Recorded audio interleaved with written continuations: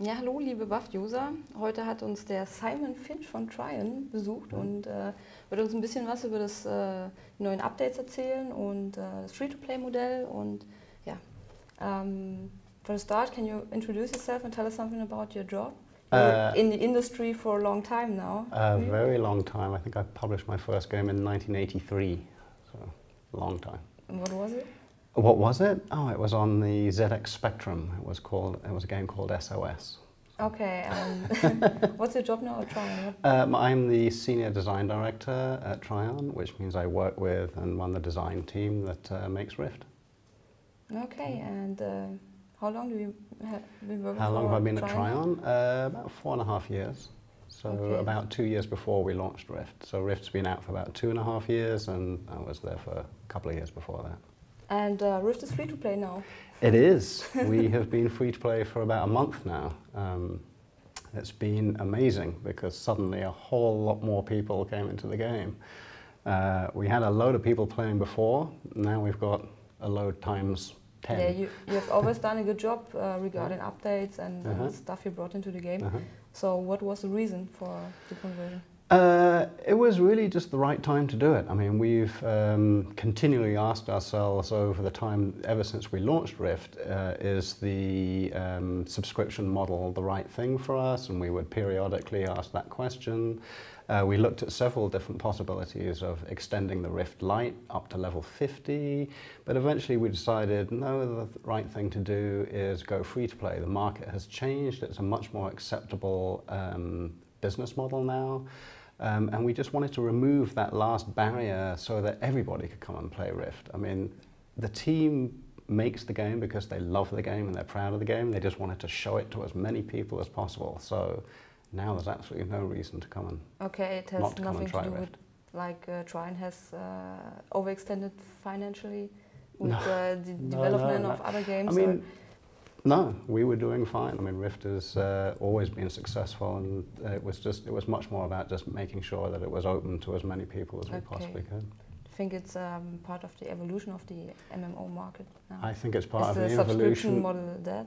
Uh, you know, who knows? I mean, that's predicting the future. Right now, it's not looking so good for the subscription model, I'll yeah. say that. But, uh, and, and I don't think it's just MMOs. I think it's uh, the games industry as a whole. Um, people want to be able to try something and find out if they like it before they decide whether they're going to give you any money for it. I mean, I don't think there's a gamer out there that hasn't sort of paid $60 for a game and they've taken it home and they put it in their console or in their PC or whatever and they play, God, this is rubbish. And, I, and you just feel like you got ripped off for $60. So I think they love the fact that they can come and try something, and if they like it, it's like, you know what, this is worth me giving some money. So that's definitely uh, been really happy for us. We love people to come in and try our game, and and we feel we feel that we've got something that people are going to want to play. Okay, so. successful right now. Yes, amazingly so. Can you tell me no. some numbers? No. uh, the reason it's not. I mean, I would love to. There's nothing I'd like to do more than brag about our numbers, mm. but there's some people that I'd rather not hear those numbers. So. Do you see what um, what are the most favorite items in, in the shop? Uh, yeah, I mean, we, we have over 5,000 items uh, on our store, and uh, it's fun seeing what people really, really like. I mean, yeah, I'm a big fan of pets. And you, yeah, there's a lot of pets on the store. Uh, people love the pets. Uh, they really love the mounts. Um, Rift has always had amazing looking mounts. Um, and there's even more of them now. Um, so they, they're really great. Um, the costumes, there's a lot of amazing costumes. All, uh, pretty much all of them can be dyed different colors, and so the number of looks that you see suddenly exploded. I mean, it was always pretty amazing what people managed to do with the costumes, and now it's just sort of multiplied like crazy. I would like to point out that all of the things that you can buy in the store are really just uh, fun items. They're convenience items or just like entertainment items. There's nothing on the store that is going to uh, make you a better player than somebody else. We really didn't want to go down that route. Everything in the game that you need to play the game is uh, free. All of that's always yeah, free. Yeah, because uh, before the start, uh, some people are arguing about um, pay to armor win. Yeah, yeah. No, we didn't want to do that. Um, you always have to play to get uh, the best to get the highest level raid gear or the highest level PvP gear or anything that you actually need uh, to make your character viable, yeah, you have to play the game to do that. So, okay, the best stuff is in the raids. Uh, well, it depends on what kind of um, content you like to play. I mean, uh, if you're a PvPer, then maybe you might want to um, get the best PvP gear, and they're, they're slightly different. Um, but yes, it's all in the game. If you want actually the best stuff, you got to play the game, and, and you earn it through the game. You can't just like buy your way to the top. Yeah. And uh, how's exactly the plan for the business model in the future? Do you want to add some new stuff? Oh, absolutely. I mean, so, I mean, I'm only going to talk about personally what I want to have happen is I, I love Rift and I love what we've made and I love people coming and playing it and I want to make sure that we continue for that always to be free. I mean, all of the updates that we have planned that we can talk about in a bit is uh, they're all going to be free. Um, my assumption is that people will come and play the game, decide they really like the game and they'll stay and they'll play and they'll get hooked in the world that we've made and they'll go, you know what, I like these guys. They made a good game. I'm going to go buy a hat on the store, you know. So, and it is amazing. That seems to be working so far, and uh, I just um, am going to assume that uh, that's the way it's going to work forever until I get proved wrong. so you said uh, you want to. Um, uh, give people new updates and expansions for yes. free. So you yes, always for bring free. new areas to the game and classes maybe for free. Well, the classes no. I mean, any anything that we uh, feel is necessary. In other words, content. We don't want to split our players up into those that have paid and those that haven't. So the content and places you can go and all of the stuff you can explore, dungeons, raids, all of that stuff, that will always be free. Um, there are some things that we feel are not 100% necessary. I mean, when you first get the game, you, you get eight souls. That's more than enough to make any kind of character you want. So we put the Storm Legion souls. You, you, if you've if you've had a, an account before, you get to keep those. But if you're a brand new player, you've never played Rift before, um, those are on the store for purchase. And the new souls that we plan to um, unveil in 3.0 are also, they will go on the store because they're not needed. You don't have to have those. They're just, uh, you know, there's something for fun. They give you a bit more flexibility, but they're not necessary. So we feel we're justified in those cases to put that kind of stuff on the store. Um, but everything else is free, yes, all of the, the content. So if you don't want to pay a dime, you just want to come and, and play the game, by all means, you're welcome, come and play. You don't have to pay at all. Um, we're happy to have you. We love what we've made. We want you to see what we've made. We're proud of it. And if you're there playing the game, you are, you know, your content for other players as well. You know, I mean, that's the thing about MMOs is the, the players are content for other players. So even if you're not directly giving us money, you're still adding value to the game. So we're happy to have you. So how you can can you stand out against other MMOs in the market? Is this complete free to play thing? You're part of the plan to to rule the, the market. To rule the world? Absolutely, I'm going to rule the world. It's like, uh, no, but I really actually do believe that. I mean, I, I don't want our players to feel like uh, they are just there for us to squeeze every last bit of money out of them. I mean, that's not why our team made the game. Our team made the game because they're passionate about MMOs, they're passionate about the game they made, and they're proud of it. I mean, they're proud. They're people that made this, including myself. We're really proud of it, and we, it's like when you're proud of something, you want people to see it. It's like, come and look at what I made. You know? Um, so, yeah, I, I fully believe that if we have made a game that people want to play, they will buy some things on the store because there's some cool stuff on the store, and, or, or they might just buy something on the store because they think, you know, those Trion guys, they're pretty cool. They've made a great game. I'm going to support them and give them a bit of my money and make sure that they're around for a long time so that they can continue, uh, continue to deliver content. And that's, that's our plan. We'll see. Ask me in a year's time if we're ruling the world. Uh, what is the team currently working on? What are we currently working on? Uh, well, there are several different things going on at the moment. We have a, a team that is uh, currently putting the finishing touches on the, the Summerfest. We're bringing uh, players that have been in Rift for a while will remember Summerfest from last year. Uh, it was like a scavenger hunt. You had to go around and, and find pets and yeah. stuff. Uh, that they've extended that out to all of the new Storm Legion zones and added a, a little bit of new content. Uh, we've added a few things to the store, especially for summer. You get some pretty cool swimming costumes are, will be available. Uh, so there's a group doing that. Uh, there's a group that is just finishing up um, stuff on, on 2.4 that is all about instances. There's a, a, couple of raids. 20, a couple? 20, it's like a, a, combined, it is split into two. You can, so you can, can do them individually or you can do them together, mm. one after the other. But they are basically individual. But so yeah, two raids basically. 20 man uh, raids, a uh, five person six, level 60 dungeon, which is a new telling of Realm of the Fae. That was a big fan favorite, Realm of the Fae. It was also a personal favorite. Um, but so we we're retelling a different story in that of uh, like Atrophinius's nightmare. I mean, Atrophinius, is, as you may know, is sort of like a, a, a feature character yeah. in, in, in Rift. Um, and as we moved towards 3.0, which I can talk to a little bit more in, in a minute, is, um, is also about dreams and madness and nightmares. So this, this uh, um, version of Realm of the Fae is sort of like Atrophinius' nightmare. Um, and then a couple of uh, chronicles. So this really, this next uh, big update is really all about instances and people playing in uh, raids and dungeons and, and chronicles. And for those that don't know Rift, a chronicle is a dungeon that is um, uh, scaled for you know two people really. I mean if you're really good and you've got some really great gear you might be able to do it on your own. No, no, I get murdered in those things too. like, but if I go in with a friend, they're sort of like you know you and and your uh, you know significant other or you and your buddy. You can go in and uh, have a really good time. And we've we've dialed those up a bit. They were quite quite a bit more um, difficult and challenging. That was something our players asked for. We've always been very responsive to our community. They, you know, we listen to what they like and what they don't like, and we interact with them a lot. And what they don't like? What they don't like? Oh man, it's just like well, there's always somebody that doesn't like everything, and there's always somebody that loves everything. So it's just it's a bit always a bit of a balancing act, you know. So one of the things they asked for, which I suppose you can say uh, there was something they didn't like, they they didn't want things to be too easy.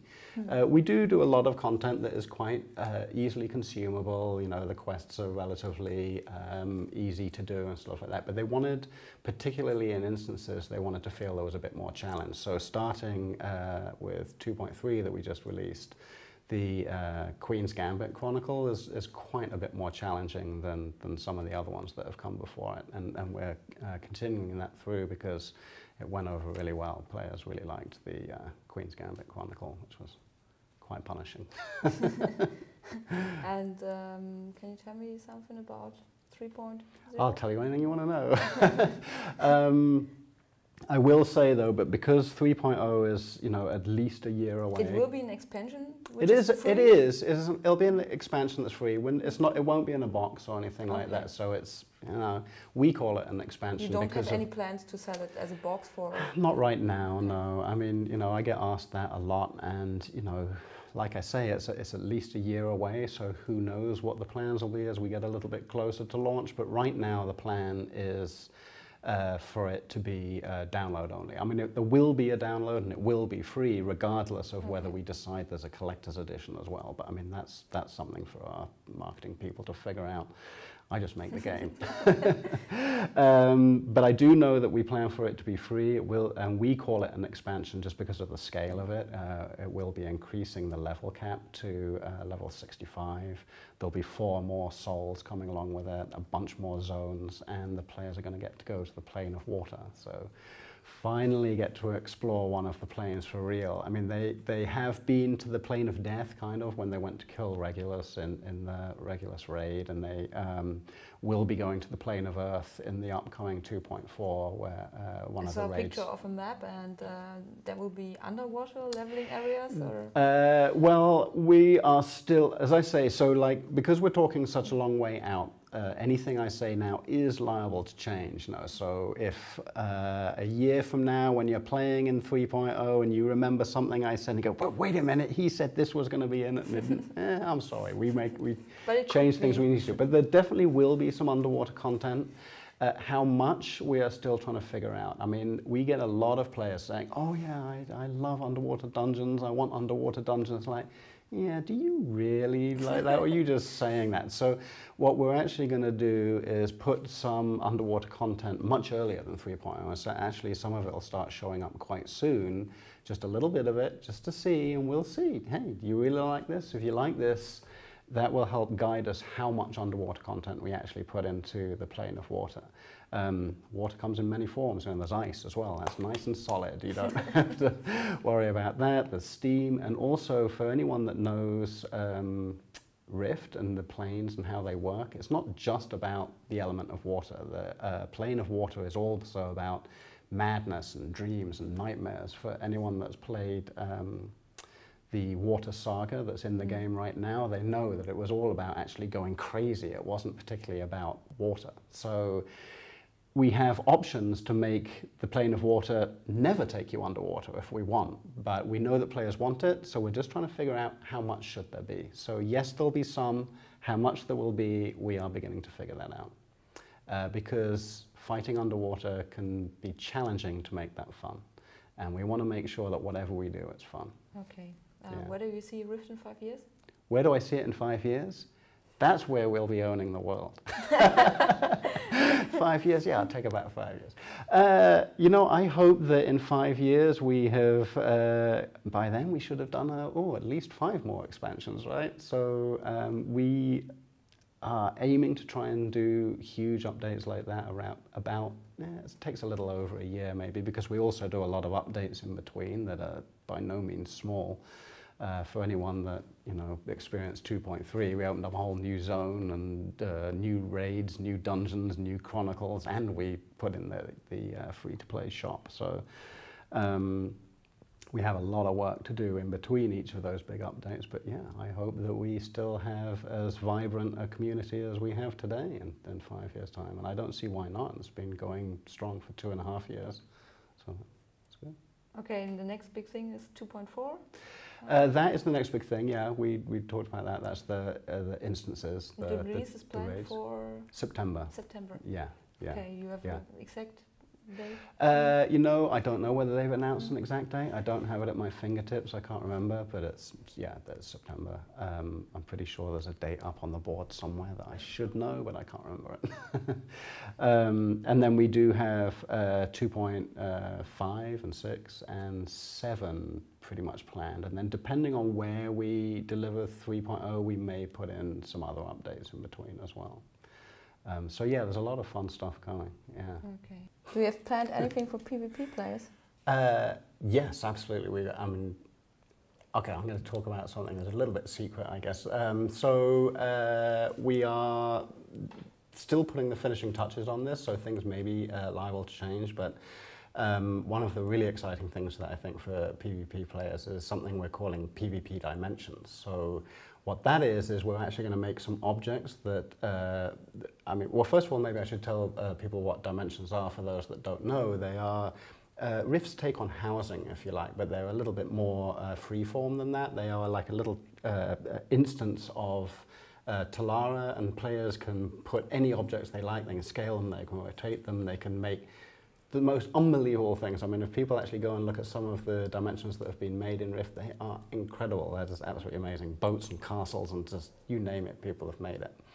Um, and we are going to add to that objects that players can um, uh, buy on the store and put into their dimensions that will actually allow them to set up uh, PvP games um, that they can then have their friends come in or anyone come in and actually participate in. And we're going to start relatively simple and build on it, but um, for example, maybe you would buy uh, some spawn-in points. So, you know, the Guardians spawn in in this place in my dimension and the Defiant spawn in in this place in my dimension. And it's a five-minute deathmatch game and you buy an object that actually sets up that rule set for you and then just people go at it. And they can build um, and they can build whatever the heck they sets they can build whatever they like. I mean, in the game right now, like capture the flag. Or well, they still have um, all of the tools mm. of the mm. dimension, so they can build whatever the heck they like. They can make a crazy maze for people to fight in if they want, or they can just leave it completely open or anything. We're going, like I say, we're going to start simple, just see how this goes, and we'll probably just start with deathmatch. It's sort of like the simplest type of thing, you know. Um, but uh, and you would buy an object that would make it a five-minute game. If you plunk down two, it would become a 10 minute game. Three, it would become a 15 minute game. So people will have the flexibility to set up what they want. But our plan is absolutely to then kind of like make new objects that maybe make a capture the flag point that you can place down, or maybe it's a domination map where you have to, you know, or a survival map. I mean, people have uh, played some of the war fronts that we've got in the game The will King know, like exactly. like. So uh, and all and what what makes me most excited about this is I know that as we give these little tools to players, they're going to come up with something we hadn't even thought of, and that, that's that's when it really gets exciting when the players sort of like get these things. Uh, as I was saying before, what they've managed to make with uh, the objects we gave them just for dimensions already is absolutely fantastic. Ja, das war das Interview mit Simon Finch. Äh, vielen Dank nochmal. Und äh, falls ihr Wünsche, Fragen, Anregungen, Kritik habt, wie wir es beim nächsten Mal besser machen können oder was wir anders machen sollen, dann einfach in die Kommentarfunktion und das Video. Dankeschön.